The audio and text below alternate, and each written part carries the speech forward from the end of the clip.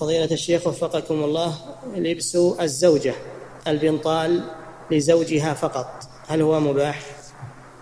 لا ما هو مباح لأنه يجره إلى لبسه تألفه وتلبسه دائما وش الداعي للبس البنطال؟ داعي وش عند الزوج؟ هذا تدرب على البنطال فتح باب نعم